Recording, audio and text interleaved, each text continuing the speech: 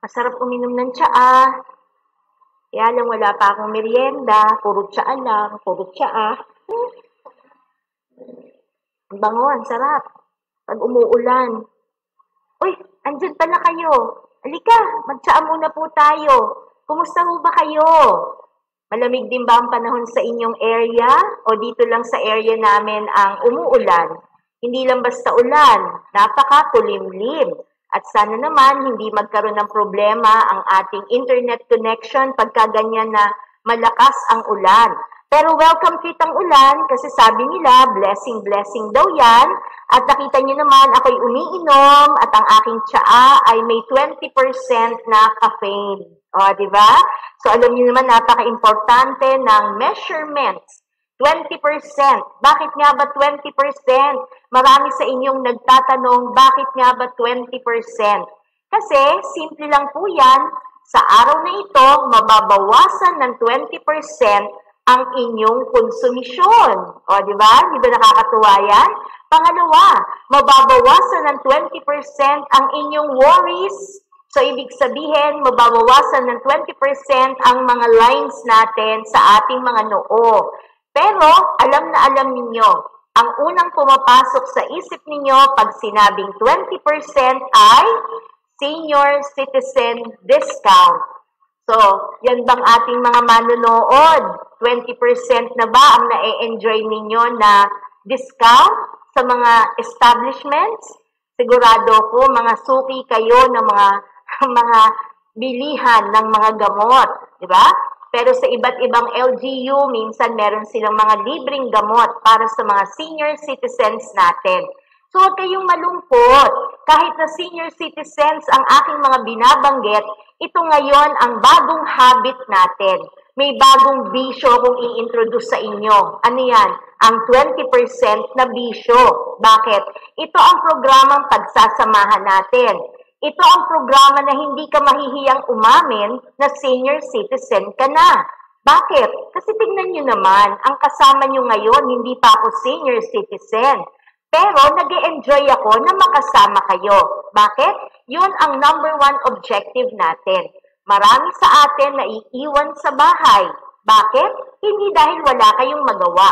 Dahil mga retired na. Ibig sabihin, sitting pretty na sa bahay. Kayo ang aming uh, makakasama at kami man ay inyong samahan. Ano bang petsa ngayon? October 20, 2020. Kaya mark this in your calendar as our historical start of a new relationship. Na ibig sabihin, tuwing oras ng merienda, tayo ay magkakasama. Ito na ang simula ng bagong pagsasama natin pare-pareho. Bakit? Saan ba natin ina-anchor ang programang ito?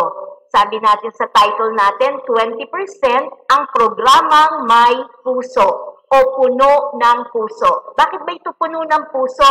Kasi pag nagkaedad na, hindi na emosyon. Marami ng laman, marami ng pinagdaanan, marami na pong karanasan.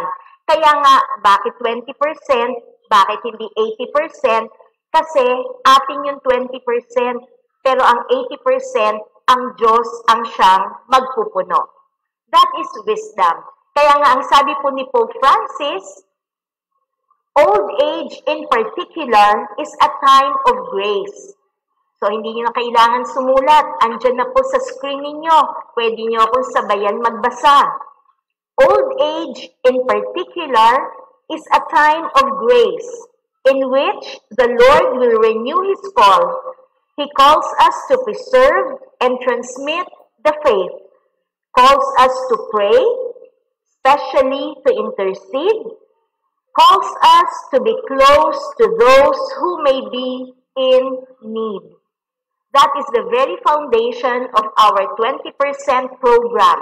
This is truly dedicated to the aging community. So there's nothing to be ashamed of. Nagkakaedad tayo. Ibig sabihin, we are in season. Bakit in season tayo? Kasi hindi tayo pwedeng mabura. Hindi tayo papunta pa lang. Andyan na tayo eh. At napakaganda ng challenge sa atin ni Pope Francis na in our old age, this is actually a moment of grace. Palakpakan naman dyan. Bakit? Pag nagkakaedad, ito ay isang bagay na hindi itinatago. Ito ay isang bagay na nagpapatunay na nandun na tayo sa panahon na punong-puno na ng grasya ng Diyos. Nag-uumapaw. At sa pag-uumapaw nito, hinihiling naman ng Diyos na maibahagi natin ang grasya na yan. Dalawa yung minensyon ni Pope Francis kanina. Ang sabi niya, He is calling us to preserve. Pe-preserve natin kung ano ang meron tayo, kung ano ang maganda sa lahi natin, kung ano ang meron tayo higit sa lahat ang ating pananampalataya. It is not simply to preserve the faith, but also to transmit the faith. So kung paano natin to maipapasa. At meron pa siyang isang kahilingan that if, if, if this is truly a moment of grace, then we might as well intercede for other people.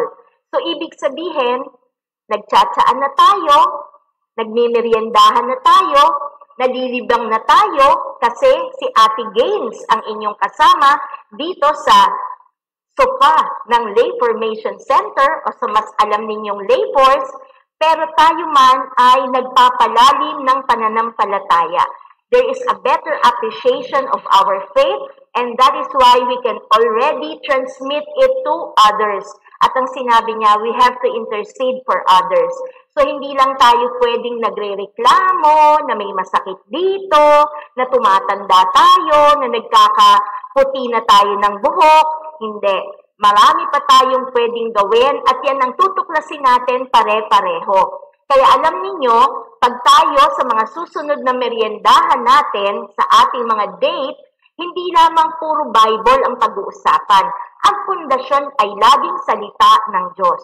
Pero marami tayong matututunan. Magkakaroon tayo ng episode na paano ba magsulat ng last will and testament. O, gusto niyo yon? Siyempre, yayamanin kayo. Ibig sabihin, meron kayong ipamamana.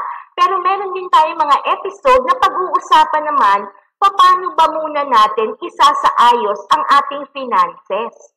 Kasi kung wala ka namang ipapamana, ano naman na isusulat mo sa last will and testament? Tama ba? But at the same time, tutuklas din tayo ng mga pamamaraan how to recreate ourselves. At hindi po matatapos at mauubos yan. Kaya nga ngayon, kayong sumusubaybay, pwede naman ninyong i-encode. Mag-comment lang kayo na mag-comment at mamaya may portion tayo na isa-shout out natin yan. Kaya nga kung meron pa kayong mga gustong talakayin in the future, we are open. Kaya nga parehas tayong matututo sa isa't isa. At hindi lang po si Pope Francis ang naging basihan ng ating programa. This is truly for the aging community. Bakit aging community? Hindi sinabing aged ah, hindi sinabing old age. Ang sinabi, aging community. Present tense, nagkakaedad, unti-unti, pero hindi naman natin ito namamalayan. So basahin naman natin ang salita ng Diyos. Nandyan po yan at mababasa ninyo sa inyong screen. At ito ay ayon sa sulat ni Prophet Isaiah chapter 46 verse 4. Even to your old age I will be the same, and even to your graying years I will bear you. I have done it, and I will carry you, and I will bear you, and I will deliver you. Gusto niyo ba ng Tagalog version? Yan. So, babasahin po natin. Mas matamis pagka sa Pilipino. Ano po ang sabi dito? Ako ang inyong Diyos. Iingatan ko kayo hanggang sa pumuti ang inyong buhok at kayo'y tumanda. Kayo'y nilikha ko, kaya tungkulin ko na kayo'y iligtas at tulungan. Napakatamis pong mga salita. Nagulat nga ako. Gustong gusto ko yung part na iingatan ko kayo hanggang sa pumuti ang inyong buhok. Problema ko ho, hindi pumuputi ang buhok ko. Numinipis po ang buhok ko. Tapos yung karugtong nun, iingatan ko kayo hanggang sa inyong pagtanda. Akala ko hanggang sa inyong pagtaba. Pero ang sinabi ho pala ay hanggang kayo'y tumanda. Kaya nakakatuwa ho, ano? Iisang verse pa lang yung ating pinag-uusapan, pero very enriching at uh, nakakagaan po ng kalooban. na ibig sabihin may lugar tayo sa puso ng ating mahal na Panginoon. Kaya nga, laging tatandaan, kung naghahanap ka ng love letter, kung naghahanap ka ng magpapalakas ng kalooban mo, saan mo pahahanapin yan? Nandito ng lahat sa salita ng Diyos. Kaya nga alam nyo, ang Diyos pag nangungusap sa atin, parang laging bago. Napansin nyo ba? Parang ang dami-dami nating pwedeng ma-discover. Kaya nga, kung tayo nagsisimula pa lamang dito sa ating meriendahan, hindi lang tayo nag-uubos ng oras. Hindi totoo na ang mga retired wala nang magawa. Ang dami kaya nating ginagawa. Busy-busy kaya. Dito, doon, we're all over the place. Hindi nga lang physically away. Sa loob ng tahanan, okupadong-okupado tayo. So may tatlo po tayo na assignment. Kayo na nanonood dyan enjoy na enjoy ka ha, kain ka ng kain ng merienda mo. Ako wala pa, hindi pa dumadating yung delivery ko. Pero tatlong bagay ang assignment ninyo habang kayo ay nagpa-follow sa ating FB Lorenzo Ruiz. Una, maraming bagay sa buhay natin na pwede pang matutunan. So yung unang assignment is learning. Ang pangalawa, unlearning. At yung pangatlo, relearning. Can you repeat that together? Sabay-sabay nga po tayo. Ano yung tatlong ating gagawin habang tayo ay nagmemeryendahan? Learning, unlearning, and relearning. Ulitin nga po. Learning, unlearning, and relearning. Anong ibig sabihin yan? Hindi ka lang basta may natututunan habang nakikinig tayo as we go along sa mga bisita natin, hindi lang ho ako ang maririnig ninyo, maya-maya meron din tayong makakausap. Pero we learn something new. So learning, pangalawa, unlearning. May mga bagay tayong matutuklasan na, ay, hindi pala tama yon. Ay, meron palang mas better way to improve ourselves. Kaya learning, unlearning, and this is more important, relearning. Wala hong matanda na hindi pwedeng matuto ng bago. Kaya nga, tayong lahat sabay-sabay, mag-aakayan po tayo. Kaya nga, ang main objective natin is to be accompanied by the Lord. So yung accompaniment natin sa isa't isa, hindi lang ho tayo. Kasama natin ang Diyos every step of the way habang siya ay nangako sa atin na tayo'y kanyang aalagaan. Hindi ho ba nakakatuwa? Pero maya-maya lang ho, inaabangan ko nga eh. Manang, pakicheck nga kung nandyan na yung delivery. Parang check nyo, kasi namomonitor naman yung tracking device kung dumating na. Andyan na ba? Ay, andyan pala yung, naku, hindi siya ang aking inaasahan. Tuloy kayo, Dok. Tuloy Good po kayo. Po. Akala ko naman po yung delivery. Ah, hindi po. Nakakahiya naman. Baka lang marshmallow. Naku, Dok, pasensya na. Hindi ako makatayo. Maupo ho kayo. Salamat. Kamusta naman po? Nahihiya talaga ako. Kasi Siyempre, yung mga pasyente ho ang pumupunta sa doktor, di ba? Mm. Ngayong hapon ho, yung doktor ho ang pumasyal sa atin. So, good afternoon, doktora. Good afternoon po sa inyong lahat. Naku, papakilala ko, kailangan makilala kanila. Siya po ang aking doktor. Wala pong iba kundi si Doktora Jormy Jeruska Encarnacion Garcia. Uh, para short na lang ho, Doc Jormy ang tawag ko sa kanya. Naku, Doc, para properly introduce ka naman. Doon sa iyong mga reseta, pag nire-resetahan mo ko, ang daming letters doon sa dulo ng pangalan mo eh. Ano ba yung MD, uh, F, P, CP po. CP. Ano ba yun? Fellow po ako ng Philippine College of Physicians. Isa po akong internist. Naku, Dok, pasensya ka na, mahina ang tenga ko pagka, kasi hirap ng pandemya, no? Naka-shield tayo. Ano po yun, Dok? Isa po akong internist. Ang FPCP po, fellow po ng Philippine College of Physicians. Naku, Sila po nyo. ang society ng mga internal medicine. Oh, so isang branch of medicine yan, ng specialization ng internist, internal medicine. So parang alam niyo na na ang sakit ko ay mga laman loob. Ganun ba 'yon? Kasi internal medicine, do. Opo. Ang internal medicine po kasi ang nag-handle sa mga diseases, kami ang nag uh, diagnose nagtitreat at nagpe-prevent ng mga diseases among adult patients po. Oh, adults. Eh, kasali ba kami? Kasi yung viewership namin medyo senior adults na po. Pasok na pasok naman po. Ay, salamat sa 19 Diyos. and above, amin po yan sa Oo, internal salamat po. So, Doc, itong panahon natin, salamat ha, ikay dumalaw dito sa aming tahanan, munting tahanan. Sigurado ko na yung mga katanungan ko ay katanungan din ng aming mga viewers. Siyempre, kami yung, siyempre pag high risk po kasi kasama ako dun eh, na hindi pinalalabas ngayong pandemya. So sila rin nalulungkot, hindi na po sila nakakalabas. Opo. Talaga bang di kami pwede lumabas? Opo, kasi ngayon, dahil nga po tayo nasa pandemya, um, unfortunately po, ang mga taong may mga comorbidities, katulad po ng mga hypertension, mga diabetes, or may mga cancer, hindi po ganun kaganda yung immune system nila, yung panlaban sa sakit. So, yun po ang mga pinangangalagaan natin at dapat iiwas natin ma-expose po sa labas. So, Doc, not necessarily age ang pinag-uusapan, kung hindi yung estado ng katawan ng tao. Opo. Pero syempre po, nabibigay lang po kaming emphasis syempre sa ating mga senior citizen because as alam naman natin, kahit ba sabihin nila, wala naman akong high blood, wala akong diabetes, wala akong ganito, malakas ako, vitamina lang iniinom ko. Pero syempre po, hindi naman tayo kasing sigla lang kunyari ng bata tayo, 100%. Syempre, haba pong tayo'y tumatanda, pabawas po ng pabawas yun. So, dapat po, alagaan po yun.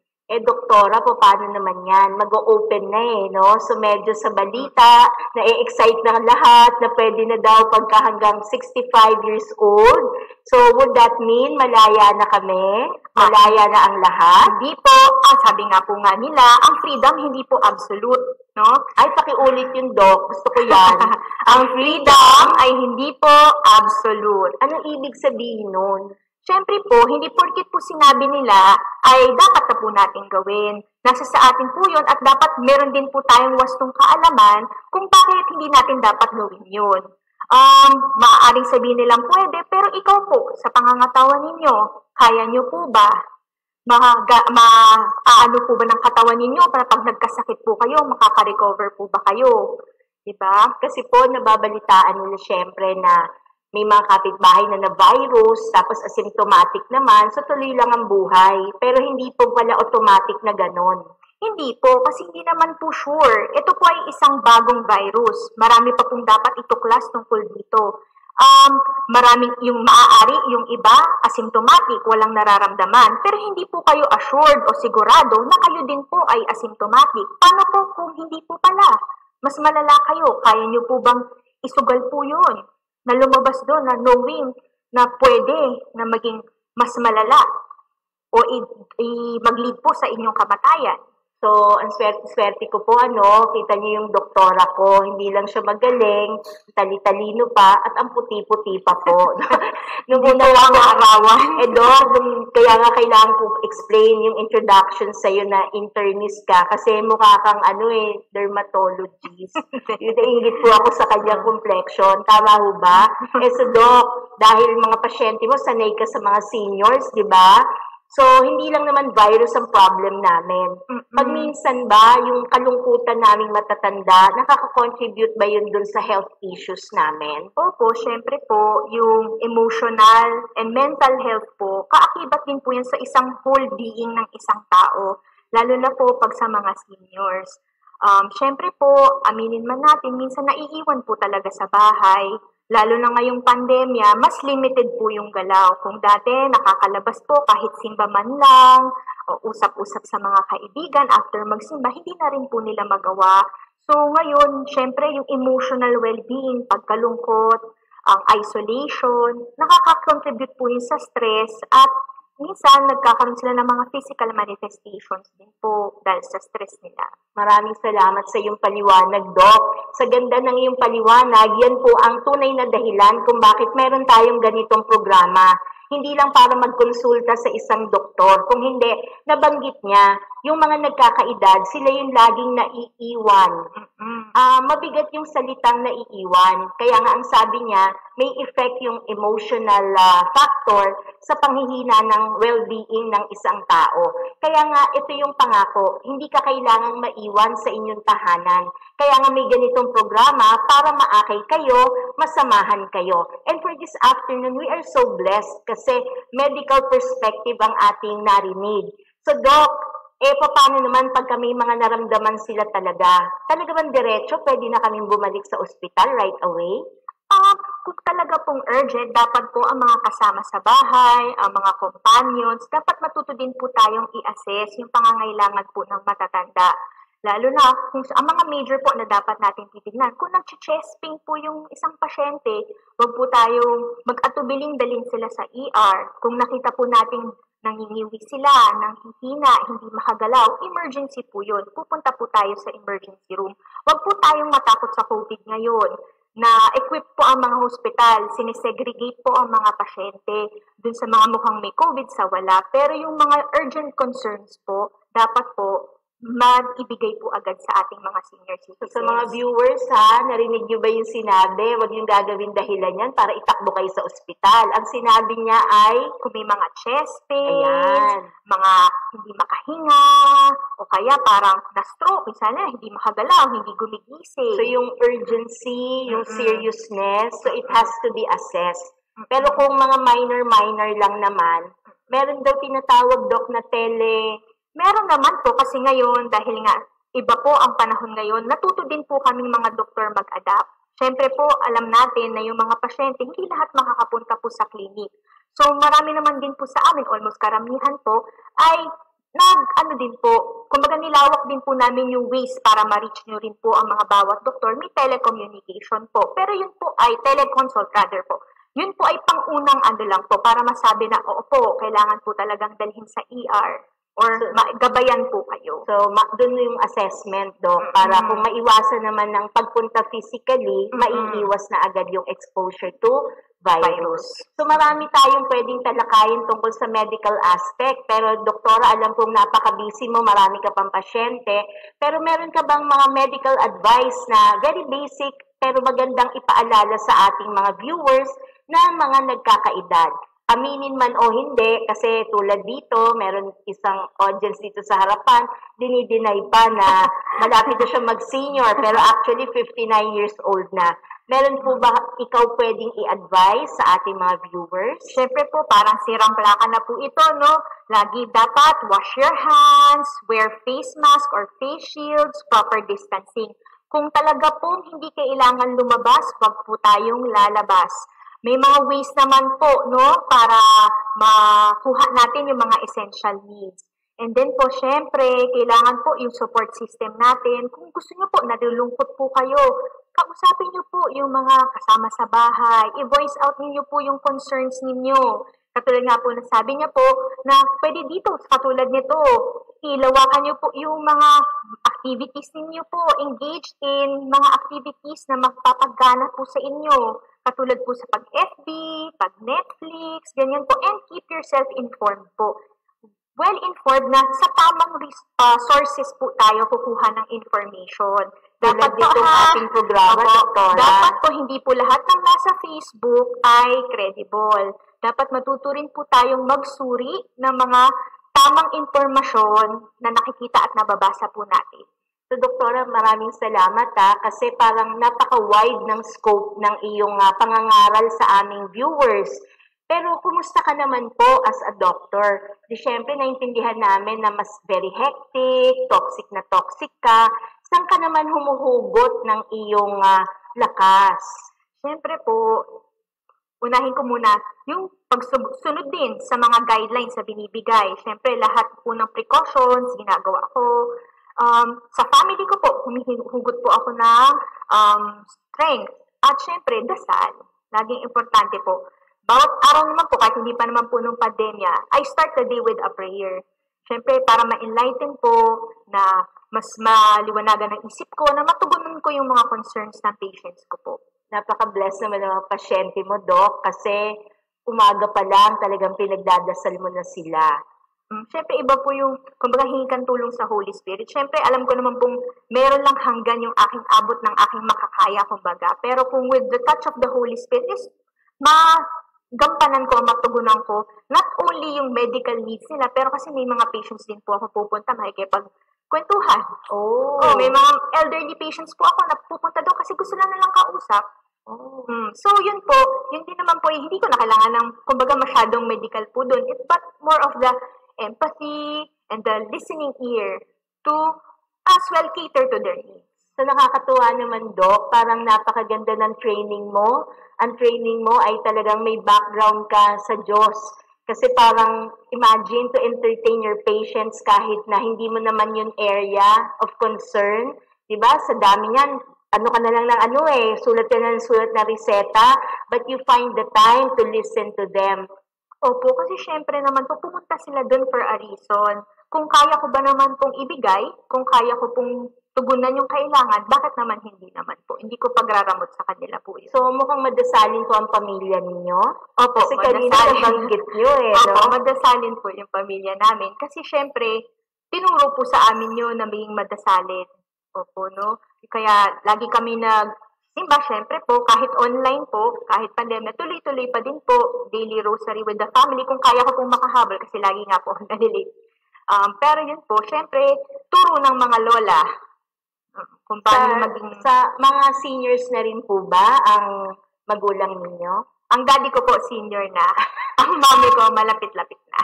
Oo. Magagalit siya, mami. So, Pero ang balita ko, Doc Jormy, kaya mm, talagang lumalapit kayo sa Diyos kasi mukhang lahat kayo ay frontliners. opo, lahat Pwede kami. ba namin i-share yun? Ah, okay, okay naman po. Lahat po kasi kami, ah, frontliners ka po, katulad ng sabi nyo, kasi doktor po yung kami, yung daddy ko po, yung kapatid ko, tsaka yung bunso po. So, andun po kami lahat. So, mas takot yung takot namin, no? Na exposed po kami, tapos iuwi sa bahay. Pero, syempre, behind dun sa fear is yung responsibility po namin na kailangan din pong gampanan. Wow. So, uh, tayong palang mga pasyente, hindi lang tayo ang may pinagdaraanan. Kahit pala ang mga doktor ay may pinagdaraanan din. Pero tingnan nyo kung saan tayo tumatakbo. Imagine, Doc, ha, sa mga sinishare mo ngayon sa amin, whatever it is that we are experiencing, lahat ito may pinatutunguhan eh. Iisang Diyos na nangangalaga sa bawat isa sa atin. So, Doc, pag ikaw ang problema, saan ka tumatakbo? Syempre po sa taas. Oo. Hindi sa baba, sa taas talaga. Nabanggit mo kanina, Doc, ang lola. Bakit? Laking lola ka ba? Ay, opo, laking lola talaga. Kasi po, pangalan niya, di ba, Doktora Jormy? Saan mo ba nakuha yung pangalan na Jormy? combination po siya ng Georgina at saka Hermie. Dalawang lola ko po. Oh, Georgina and Herminia. Herminia. So, pinagsama, kaya Opo. naging Jormy. Mm-mm. So, mukhang ikaw lang ba ang apo Ay, sa lahi nyo? Kasi kinuha mo na pareho yung lola mo eh, no? po, tatlo kami. Sa, sa side ng mami ko, marami po kami magpipinsan. Pero sa side po ng daddy ko, tatlo lang po talaga kami. Oh, so hindi kaya dahil dyan, alam mo ang pinagdadaanan ng mga elderly natin? Kasi you're, you seem to be very close to your lola. How do you call your lola? Mama. Mama. Mm-mm. Siguro nga, opo, among kasi mas madalapit ako sa matatanda po talaga. Sa lola ko. Hindi ko sa- masyadong titingin sa akin, no? Kasi medyo tinitigan mo niya ako, eh, no? Mm-mm. Ang sinasabi ko lang sa iyo kanina, Doc, eh, mukhang may gift ka, eh, no? How to handle the elderly patients. Mm, Kasi po laki nga po, sabi ko laki ako sa lola, sa mama ko. Kasi noon, simula bata ko, every Friday, ah, sa kanya na po ako. Oh, Mm, Friday pa lang. So, Mm. over the weekend, you really, you really spend the time with your Mm. grandma. Opo. Mm-mm. Eh, yung mama ko po kasi, charismatic yun. Leader siya ng Charismatic, ah. Opo. Mhm. So, Friday, punta ako sa kanya ng gabi, attend po ako ng charismatic, kung may Bible study, kasama din po ako nung kahit maliit pa lang po ako, salingkit, hanggang sa lumaki, kasama pa rin po. So, nakakatuwa naman. Kaya pala alam niya pa paano pagdasal ang kanyang mga pasyente. Kasi dun nga sa charismatic, di ba, may healing session, Mm-mm. ah, you call on the Holy Spirit. Mm-mm. So, isa yan sa mga learnings mo sa grandma mo. Meron ka pa bang ibang mga naaalala? Ah, kasi si mama, syempre nga, karay-karay niya. Ako yung madasalin siya. Pagdating ng 3 o'clock, nandun na yun sa tumba-tumba niya. Nagkakape, nagdadasal. Puro dasal, dasal. Yun naman sabi niya lagi, Apo, magdasal ka. Siya kasi, oh, spoiler ko yung mama ko. Spoiled ako sa lola ko. Pero alam din niya kung paano niya ako i-disiplina. O, wag ganyan. O, dapat maging mabig ka. O, dapat makinig ka.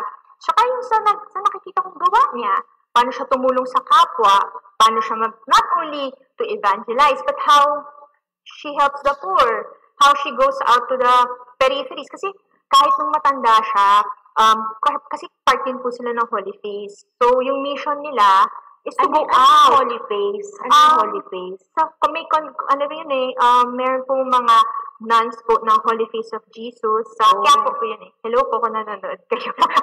Shout out po. devo- devotee pala devotee yung, po, ah, lola grandmother mo. Opo, hanggang mga late na, mga 60s, 70s. Sa pangaliblib na po talaga, yun, bilib ako sa lola ko. Nakaka-fear pa po yan. Ah. Nakaset po ang buhok nun. Pupunta siya, sasakay siya kung saan. Hindi pa syempre po ganun ka civilized ang transportation. Kahit ano po, basta makapag um, salita lang siya, ma-spread niya yung uh, the gospel or the word of God, ma-evangelize niya. Ginagawa niya yun. Yun yung ibang level na sa tingin ko hindi ko talaga magagawa. So, Doc Jormy, parang sa naririnig ko sa iyo ngayon, parang very evident na naka-align, naka-align nito sa sinasabi ni Pope Francis. Yes, sabi nga po ni Pope Francis na ito, favorite ko po. The elderly pass on history, doctrine, faith, and they leave them, they leave to them in, as, as inheritance po sa atin. Naku, so mukhang sa pakikinig ko sa iyo, Doc, no, dapat ikaw na lang andito sa lay force. No? Huwag ka na mag-clinic, dito ka na lang. Kasi parang naipasa talaga sa iyo ng lola mo, no, para as an inheritance. So more than the money in the world, parang ang naipasa niya talaga sa iyo is a deep faith in God. Pati yung mga debosyon niya ay naipasa niya sa iyo. At ngayon, ang nakikinabang ay hindi lang ikaw, kung hindi ang mga pasyente na katulad namin. So nakakatuwa naman, Doc. No? So, ah kung ito yung mga learnings mo talaga at naaalala sa mami mo, no? Eh, buhay pa ba yung grandma mo? Ay, wala na po siya. Ay, wala na. Opo, mga, parang hindi ko mabilang, parang kahapon lang. Pero, Gusto ko, Oo, I'm, I'm interested to know kasi nakita ka niya na lumaki. Nakita niya ba na naging doktor ka? mm hanggang medyo nagsa-start na po, na-establish ko na yung practice ko. Kaya ako siya, ganito magtanong sa iyo, Doc, kasi marami sa viewers natin, Mm-mm. yung time nila nauubos na sa pagpapalaki ng kanilang mga apo. Mm-mm. Pero alam ninyo, mga kaibigan ko, hindi lahat ay magkakaroon ng biyaya na makita kung ano yung pagtatapusan ng kanilang mga apo. Sa case po ni Dr. Jormy, na-bless yung mami, ma- mama nakita niya, po niya. na nakita Opo, niya na ako- naging doktor ka. Mm, tsaka yung kapatid ko pong lalaki. Tapos yung sister ko, hindi, hindi niya naabutan pero patapos na Although eh, graduating na. So, what a blessing. So, nakikita po natin yung sa kasaysayan, no, umiikot ang kasaysayan natin, nag-pass on ng pananampalataya. Yung reward, hindi sa material things, hindi sa material blessings. Kung hindi ipinasa ang pananampalataya at ang na-produce ay tatlong doktor. Hindi lang si Doc Journey, yung pangalawang kapatid ay isang surgeon ngayon. At yung pangatlo, naabutan pa rin as a graduating nun, ano, in Mm, medicine. Pero soon to be. Pero ngayon, Opo. doktora na rin naman yung bunso. Malapit. na. Kiniklaim ko na, magiging doktor na po. Amen. So, isama niyo rin po sa inyong panalangin, ano? Mm. So, nai-entertain ba kayo? Pero alam niyo it is not simply uh, entertainment. Kung hindi, we learn from each other. So, Doc, natutuwa kami kasi natutunan namin sa iyo hindi lang yung medical aspect, hindi lang yung expertise. Um, it is very edifying to know na kung ganito naman po ang mapoproduce nating mga apo, di ba ho, matutuwa rin po tayo. So anything else, Doktora, that you would like to impart to us? Kasi baka nalulungkot ang mga lolo and lola, titos and titas, na nung una, active life eh. Pero ngayon, kahit hindi pandemic, alam nyo, Doc, isa yan sa pinagdadaanan ng isang ordinaryong tao. Yung pag dumating na sa stage na nagawa mo na ang lahat, tapos slowly you realize parang I'm not needed anymore, eh, naaapektuhan nga, sabi mo, yung physique namin, di ba? Meron ka pa bang gustong i-share bilang apo na nangungusap para sa mga nag-aalaga ng apo? Um, wag po kayong magsawa, wag kayong mapanghinaan na loob na akala nyo po um, hindi na kayo pinahahalagan. Mahalagang mahalaga po kayo. Siguro kasi nga po ako, malapit ako sa lola ko. Pero para sa akin, yung wisdom po ng mga grandparents, yun po yung pinakamalaking or pinakamahalagang inheritance na natanggap ko mula po sa grandparents po. Isa yan sa ine-emphasize ni Pope Francis, no? Opo. Na yung great inheritance natin from our grandparents is the wisdom na pag pinasa ito, hindi mo kayang lagyan ng price tag eh. Kasi kung ano man yung kikitain, pera lang yan. Pero what becomes of you as a person in your totality, tulad ng nakikilala natin ngayong bata, dating bata na ngayon ay grown up na at siya na ang gumagamot sa ating lahat. So Doc, with your words of wisdom, para naming naririnig ang boses ng lola mo na nagpalaki sa'yo. But of course, thanks to your mom and to your dad. And of course, concerted effort yan eh. So you will not be who you are kung hindi sa tulong ng mga taong humubog sa'yo. Totoo naman po, Tat. Sabi nga nila, it takes a village to raise a child. So maraming salamat, Doc. Um, I'm so thankful na binigyan mo kami ng panahon sa oras na ito. Naku, sorry po ah, yung mga nagpapa-shoutout dyan tulad ni Aurora, si Ate Helen nandyan, Ate Alice, Ate Angelica. Kulang na kulang pala po ang 30 minutes, no? Doc, naku, hindi ko akalain kasi na ang yaman-yaman pala nitong talakayan. Akala ko in 30 minutes, mauubos namin ng oras. Pero nagkakamali ako kasi ang dami pa nating pwedeng i-expound. So maraming maraming salamat sa iyo. Meron ka bang parting words sa kanila? Um, basta po, um, matuto po tayo, maki, ano lang po, ma, huwag tayong mahiya. Hindi naman po ito, huwag tayong mahiya na mag-reach out po sa ating mga kapwa ngayon pong lalo na pandemic para hindi po tayo mag-feel na lonely, isolated, Marami po tayo ngayon ways. Ngayon po natutuwa po ako na ang mga seniors na nakikinood, nakakapag-Facebook. So, gamitin po natin itong mga tools po na ito para uh, ma-enlighten at ma-enrich po ang ating mga buhay. At tignan nyo, hindi lang sila basta watchers and viewers, ha? Talaga nakikicomment talaga sila. so, ubos na ang oras natin. So, I really hope na nag-enjoy kayo. Meron kayong learning, unlearning, and relearning. So alam ko, bitin na bitin. So I hope, Doc, pwede ka pa naming ma-invite uli kasi marami pa kaming gustong itanong sa'yo.